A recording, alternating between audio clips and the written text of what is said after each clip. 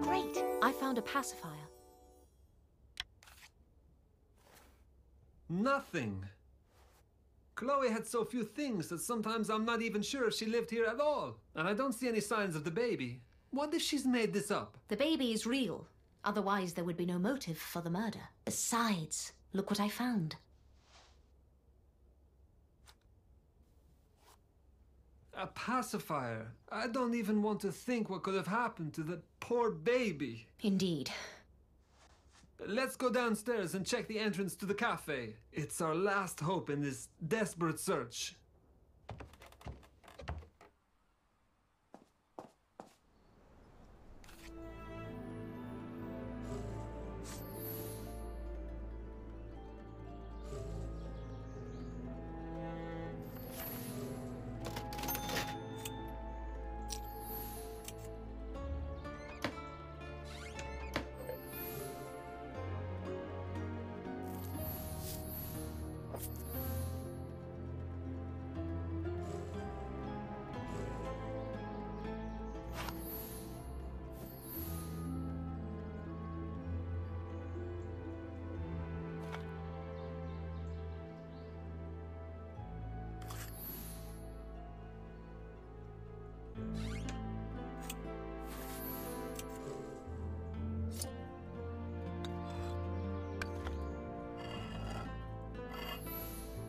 Great, I found an invoice. Oh goodness. Luigi, you should see this. What is it?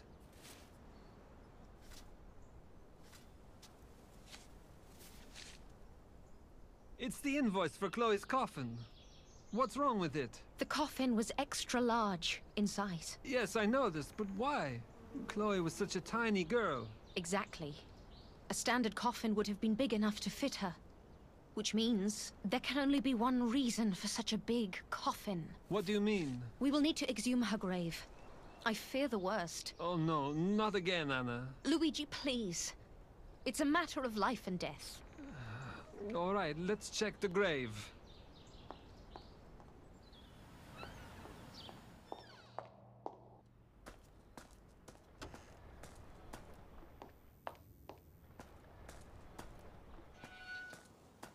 Let's get the shovel from the shed.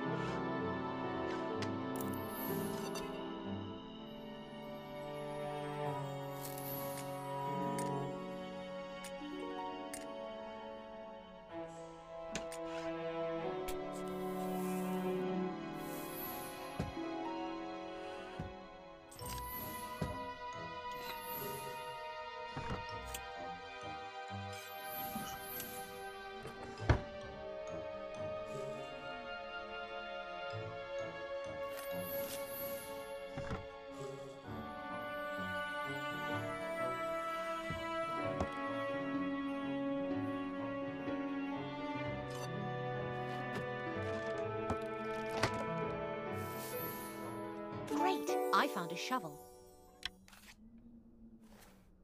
Got it. Give it to me, please. All right, let's do this quickly.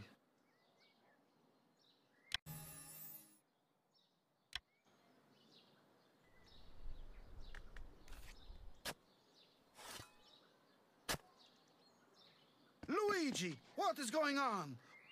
What are you doing? People are already angered and incensed because of Chloe and her child, and now this? Officer Cozzi, we strongly believe that something very important is hidden inside the coffin. Miss Myers, here we go again. I tried to be calm and pleasant, but now I would like you to stop this. Immediately. Signor Cozzi!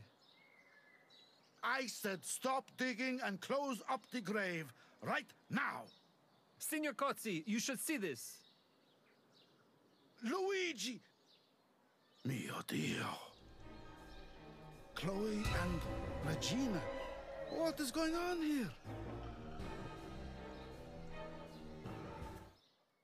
Right until the very last moment, I hoped I was wrong. I don't understand. How could he do this? You think Adriano did this? Of course he did. Who else could? Everything clearly points to Adriano and Lino. They both killed their women out of anger. That's really doubtful. But let's examine the body. Maybe we can find out the real cause of Regina's death.